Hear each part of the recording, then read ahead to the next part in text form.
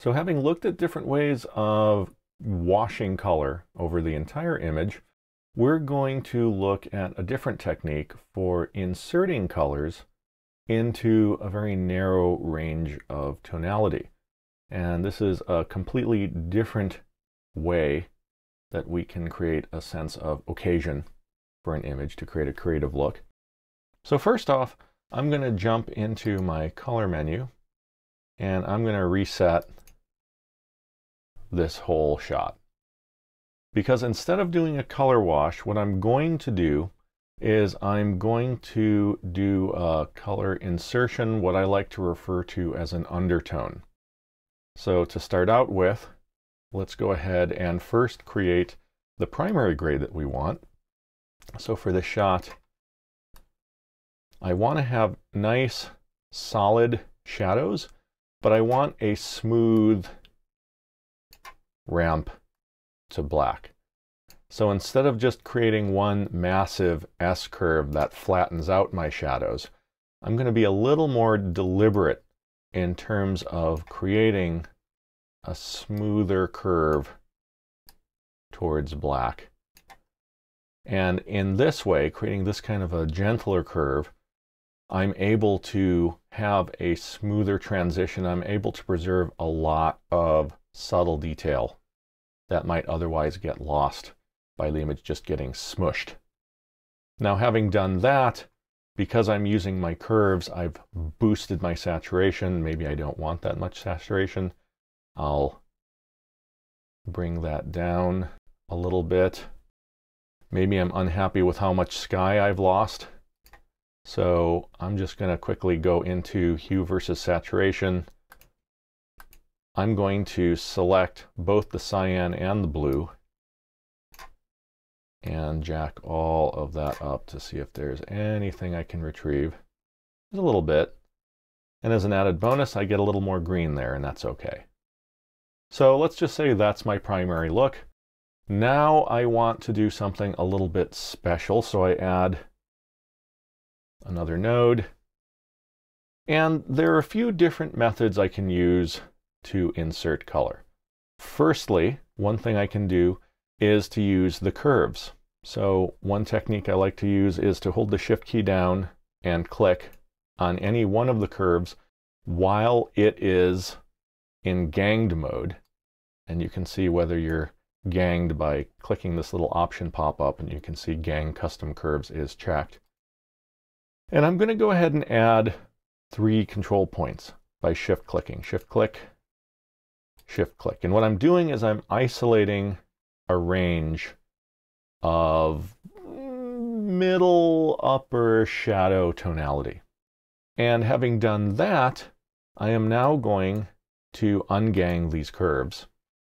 And now what I can do is by playing around with those curves, you can see I can actually start tinting a very narrow range of the image in different ways. So if I want to go for kind of a green tint, I can set that up very quickly. And if I turn this node off and on, you can see exactly what I'm doing. It's not an overall wash, it's a very selective color insertion. Similarly, if that's not what I'm going for, I can pump up the blues. Maybe that's a look that I want. I'll drop my red.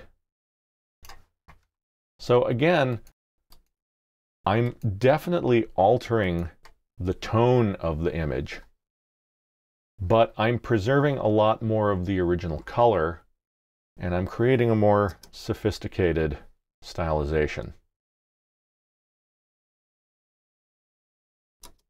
So this is one way I can go. Let's take a look at another image. I've got these two girls here sitting on a bench and I want to give them more of a more of a look. So give them a bit more shadow. I'll drag some of that midtone down. Maybe I'll even cool this image off. It's meant to be a cold, wintry day. So right there and then, I've taken this into a very distinct direction, but I want to take it even farther. Now, another way that I can insert color is by going ahead and using the log tools. So I'm going to switch into log mode. Now, the shadow, midtone, and highlight log ranges have been designed to work with logarithmically encoded media for film workflows. And that's great. But by sheer coincidence, they also happen to be very restrictive bands of tonality. So for example, if I use the midtone control to add a bunch of blue, if I really jam it, you can see that that blue is being added to a very thin band of the image. And in fact, I can control how thin that band is using the high range and the low range controls. So you can see I can roll back the high range so that blue is restricted just to the darker parts of the image. Similarly, I can raise the low range to restrict this color insertion to exclude more and more of the shadows.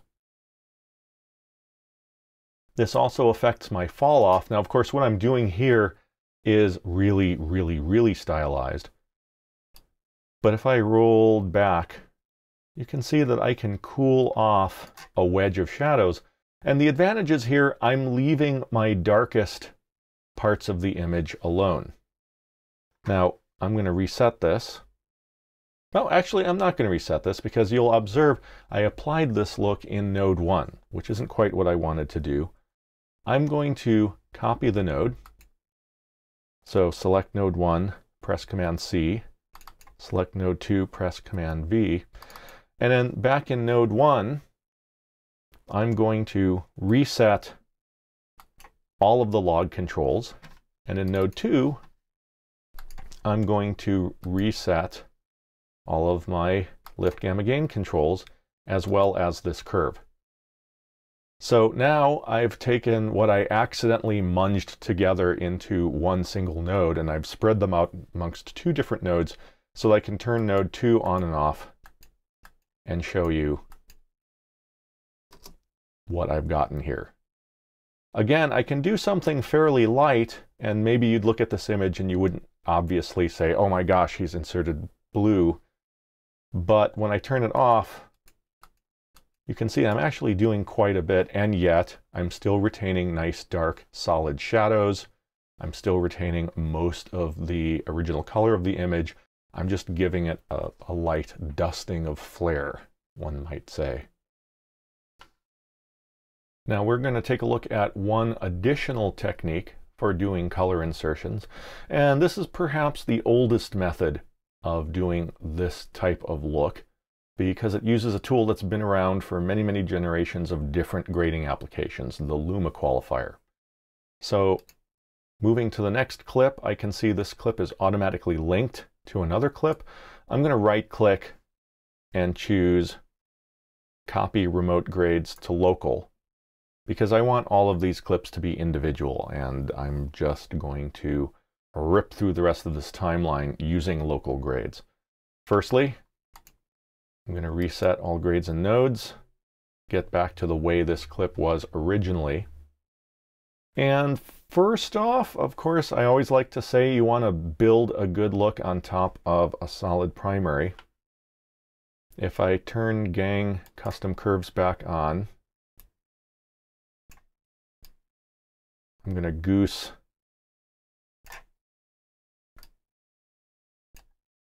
I'm going to goose my contrast a little bit. One thing I find I often do, even when I'm creating just a, a moderate subtle S-curve, is I find I often add one more control point down in between the lower of the S points. Uh, one more point down below so I can just get a little more solidity out of those shadows if what I'm going for is a nice solid high contrast look.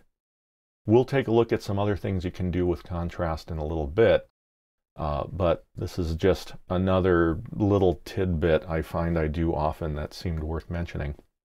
Now that I have this set up, I'm going to create another serial node, and we're going to go into the qualifier palette. And in particular, we're going to go into the loom mode of the qualifier palette. And in the loom mode, if I turn on my highlight, I can go ahead and adjust to isolate a specific band of image tonality. So if I want to leave out the darkest shadows and leave out the brightest highlights, I can see exactly what I'm including and omitting by whatever is left in color. And in fact, as I do this, I'm probably going to want to use the softness controls to achieve a nice roll off. I don't necessarily want this color insertion to be super harsh. But once I've done that, I can turn my highlight selection off. And now I can use any of the color controls to push a tint or a wash into the image. So if I push up towards red, you can see that now I have a very specific red insertion. If I want to push this down towards green, I want to accomplish that cinema look. This is a way that I can set that up. And it's perhaps a little more flexible than using the curves. I can just dial in whatever color I want. And in fact, because I'm doing such a narrow insertion, once I pick a hue, I can rotate that hue around to fine tune it to get just the flavor of olive drab green that I want for this particular look. Again, if I toggle this node off and on, you can see I'm just adding a very subtle wash. And in fact, if I wanted to go farther and I wanted to omit that sky, it's a simple thing to combine this qualifier with a custom curve.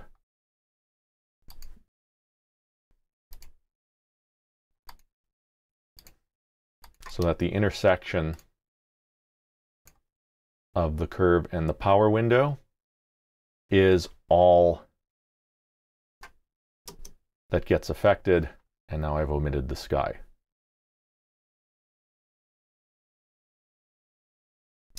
Color insertions. So there you go. Three different methods of doing color insertions or undertones, as I like to call them.